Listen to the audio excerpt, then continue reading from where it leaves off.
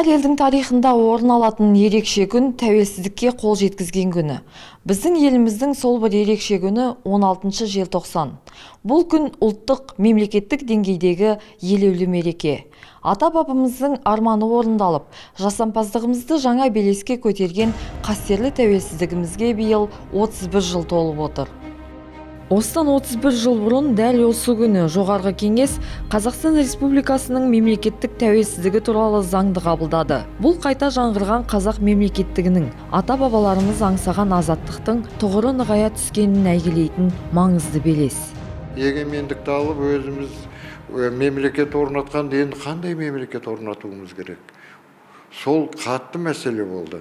Өз бетімізбен орнатуымыз керек болды мемлекетті біздің территория біз тап тұйнақтай етіп өзіміздің жерімізді жинап алдық. Бұл енді үлкен жетістік.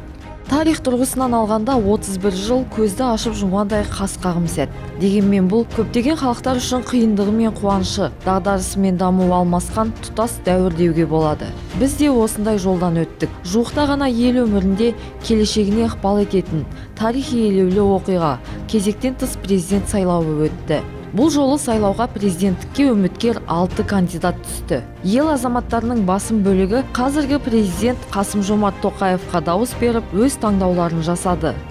Халық алдында ант беріп қызметіне кіріскен мемлекет басшысы сындарлы саясатын ары қарай жалғастыруда.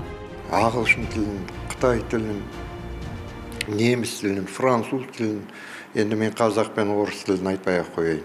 Сайрап тұр. Бұндай президент ешкімде жоқ. Тоқаев біздің қазақтың маңдайына біткен бақыты біз қазақтар енді қазақстандықтар деп те айтайын тоқаевтың төңірегіне топтасуымыз керек. Бұл кісі дипломат бұл кісі саясаткер жағдайдың бәрін жақсы біліп тұр. Әлем деңгейіндегі жағдайдың бәрін біліп тұр. Ішкі саясатты да біледі.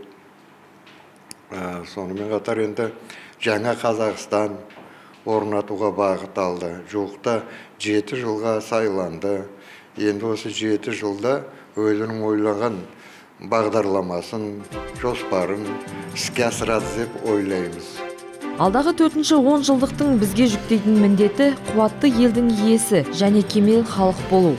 Бұл жолда ел президенті қасым жомарт тоқаевтың бастамасымен саяси экономикалық реформаларды және сананы жаңғырту үдерісі жалғасып заман талабына сай бейімделген ұлттың жаңа болмысы қалыптасып келеді.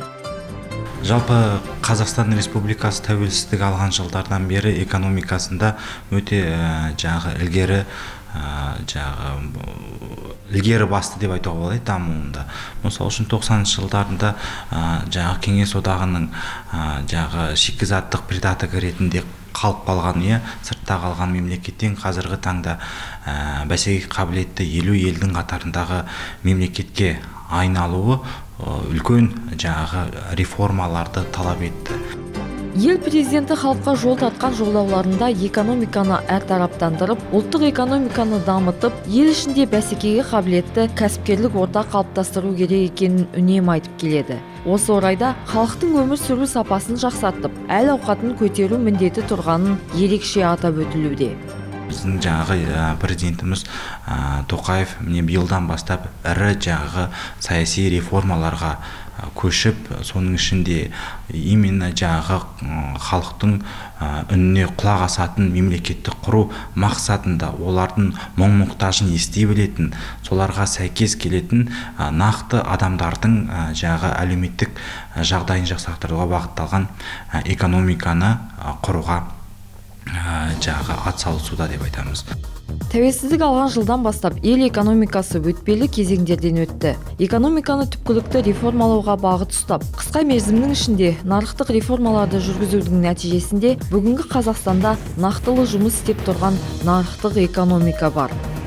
Енді соңғы 30 жылдың ішінде қазақстан экономикасы жағы орталық жағы азия мемлекеттерінің ішінде ең ірі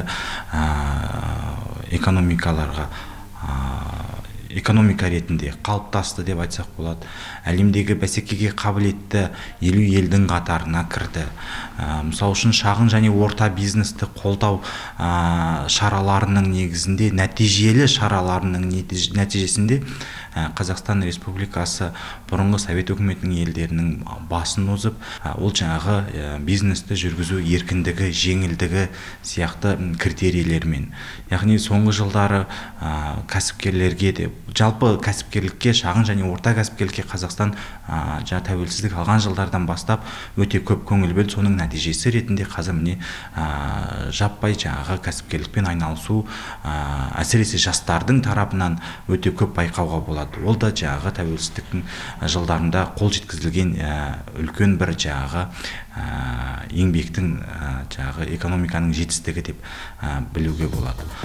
Жаһандық үрдістен қалыспаған елімізде бәсекеге қабілетті экономиканы дамытып халықтың тұрмыс сапасын жақсарту ерекше маңызға ие. Сондықтан цифрлық технологияларды қолдану арқылы ел азаматтарының өмір сапасын жақсартуға жол ашылды. Қазіргі уақытта цифрландыру үдерісі бүкіл республика көлемінде қарқынды түрде дамуда. Заман талабына сай әрбір сала біртіндеп онлайн жүйеге көшіп жаңашылдыққа бейімделуде. Ең ірі жоба ә, нәтижелі жоба ретінде мысалы үшін астана хаб жобасы иә IT саласы да. Мысалы үшін әлемдегі ә, дамыған мемлекеттердің барлығы ол IT саласында дамыған да. То есть мысалы үшін компьютерлар дейміз иә ұялы телефондар гаджеттардың барлығы ол өте үлкен жаңағы ә, табыс әкеледі мемлекетке де жұмыспен де қамтиды иә халықты. Осы сияқты өте көп жаңағы оң нәтижені көрсетуге болады отыз жылдың ішінде. Әлі де әрине алға ә, жылжитын алға қоятын ә, жаңағы көкжиек алыста оған жету керек яғни бір орында тоқтамау керекпіз. Қазақстан өзінің жаңағы 20-30 бағдарламасында 2030 жылға дейін азия барысына айналамыз деген ә, жаңағы концепциясы болды. Яғни оған әлі де жететініне кәміл сенемін. Үкімет жұмысындағы басым бағыттардың бірі ретінде ел азаматтарын жаппай кәсіпкерлікке ынталандыру және жұмыспен қамту мәселесіне көп көңіл бөлінуде. Отандық кәсіпкерлікті дамытудың барлық алғышарттары қарқынды түрде құрылуда. Қазіргі уақытта мемлекет тарапынан отандық кәсіпкерлер үлкен қолдау мен түрлі жеңілдіктерге ие. Являюсь предпринимателем. Мен тәуелсіздік құрдасымын. Азат елде дүниеге келгенім үшін өзімді бақытты сезінемін тағдырым тәуелсіз ел тарихымен тоғысып жатыр деуге болады. Біз тәуелсіз елде өсіп еңсемізді тіктедік. Оқу оқып білім алдық. Енді міне ел қатарлы еңбектеніп жүрген жайымыз бар. Ел мүддесіне қоғам пайдасына жұмыс істеуден еш тартынбаймын. Жеке кәсіпкермін. Егеменді елімнің жарқын келешегіне сенемін. Баршаңызды ұлық мереке тәуелсіздік күнімен құттықтаймын. Ел тыныштығын бақ береке мен отанымыз өркендеп дами беруіне тілектеспін. Тәуелсіздік алғалы еліміз биік белестерді бағындырып қарыштап дамып келеді. Айтулы тарихи кезеңнің маңызды жетістіктерінің бірі қазақстандықтардың жаңа буыны қалыптасты. Бүгінгі тәуелсіздік ұрпақтары белсенді білімді жан жақты және олардың патриоттық рухы жоғары. Барша шығыс қазақстандықтарды өскемен қаласының тұрғындарын және қазақстан республикасының тұрғындарын 31 жылдық тарихы бар жас қазақстан республикасының азаматтарын құттықтаймын. Мен қазақстан республикасының тәуелсіздігінің құрдасы ретінде осы отыз жылда белгілі бір белестерді бағындырып жас маман ретінде қалыптастым. Сол сияқты қазақстан республикасының барлық азаматтарына да мемлекетпен бірге өркендеп көркеюін тілеймін. Тәуелсіздіктен кейінгі сот жүйесінің дамуы деп сот жүйесінің ескі кеңестік сот жүйесінен тәуелсіз қазақстанның жаңа сот жүйесіне көшу уақыты деп сипаттауға болады. 1991 жылы қазақстан республикасы өзінің тәуелсіздігін алған күннен бастап ең басты қағида ол тек қана бірінші экономика содан кейін саясат деп басталды ғой. Бірақ соның өзінде де басқа реформалар да жүріп жатты. Соның ішінде сот жүйесінде де көптеген өзгерістер көптеген реформалар болды. Енді оның бастыларын айтып кететін болсақ оның ең бастысы бірінші кеңестік дәуірдегі сарқыншақтардан кеңестік сот жүйесінің ол тұстарынан құтылу болды. Сол себепті ең бірінші ата заңымызда осы сот тәуелсіздігі және де биліктің үш құрамын нақтылап берді. Соның ішінде атқарушы билік заң шығарушы билік сот билігін анықтап берді. Бүгінгі сот жүйесінде жаңа заңдар қабылданып қолданысқа жаңа институттар енгізілді. Судьялар корпусының тиімді қызмет етуі үшін тәуелсіз сот жүйесінің қағидаларына негізделген база қалыптасты. Ең бастысы сот тәуелсіздігінің ә, басты бір ә, өте бір қажет болған жағдай ол сот жүйесінің ә, сот мәртебесі туралы заң қажет болды. Сол туралы ә, бірінші заң қабылданды. Сол заңда соттардың судьялардың мәртебелері сот жүйесінің құрылымдары оның мақсаттары айқындалды. Сол кезде өзім сол кезде жұмыс бастадым. Осының барлығы өзіміздің көз алдымыздан өтті.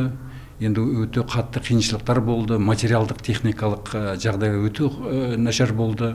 Сол кезде енді ә, қазір сол кездегі жағдаймен қазір салыстыруға болмайды. Өте бір өте жақсы өзгерістер болды деп айтуға болады. Ұлтаралық келісім идеясын ұстанған қазақстан әлемдік аренада көпке үлгі тәуелсіздік жылдарында еліміздің барлық өңірлерінде ұлт пен ұлысты ұйыстырған түрлі салт дәстүрді бір арнаға тоғыстырған достық үйлері пайда болды. Мәселен 1992 жылы шығыс қазақстанда республикада бірінші болып достық пен береке бірліктің татулық пен бейбітшіліктің символына айналған осындай нысан ашылды.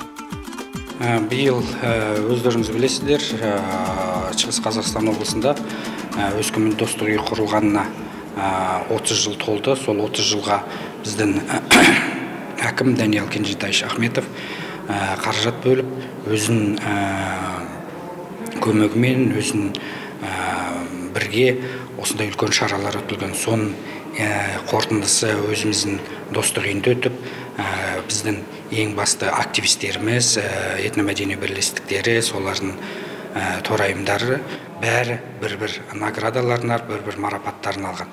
Оның бәрі бізде алдын ала әрбір этномәдени бірлестік 92 жылдан құрылған бізде 8 этномәдени бірлестік болатын. Солардың міне 30 жылдықтарына мемлекет қаражат болып олар өздерінің салт дәстүрлерін көрсетіп олардың өздерінің істеген жетістіктерін көрсетіп олардың өздерінің алдына қойған мақсаттарын көрсетіп соның бәрін өткізіп жаңағы айтқаным қорытындысында біздің облыс әкімі ассамблеяның шығыс қазақстан облысы ассамблеясының төрағасы осындай үлкен шараға қатысып өткен болатын. Қазақстанда этносаралық және конфессияаралық қатынастар мемлекеттік саясатты жүзеге асырудағы маңызды құрал. Қазақстанда ұлтаралық бірлік пен діни бейбітшілікті сақтау баршаға жүктелген басым міндет. Қазақстан тәуелсіздігі қазақстан көпұлттылық халқы бірдей өмір сүре алатын бірдей өзінің экономикасын көтере алатын ә, мәдениетін тілін дәстүрін соның бәрін ә, тілін оқуға мәдениетін көрсетуге жағдай жасататын біздің мемлекет. Оның бәрі конституцияның ә, ассамблея туралы заңда түгел сондай көрсетілген біз сол бойынша жұмыс істейміз де этно бірлестіктерін міне қандай ұлттар бізде өскеменде тұрады солардың бәрі бірдей болып қатысамыз. Неге десеңіз біздің қазақстан тәуелсіздігін солай ғана қорғаймыз деп сенеміз. Бүгінде облыс бойынша жүзден астам этномәдени бірлестік жұмыс істейді. Достық үйі жанынан шығыс қазақстан халқы ассамблеясының жастар қанаты мен ғылыми сараптамалық кеңесі де құрылды. Бұл жерде әр халықтың салт дәстүрін әдет ғұрпын және тарихы мен мәдениетін дамытуға барлық жағдай жасалған. Мы живем и процветаем.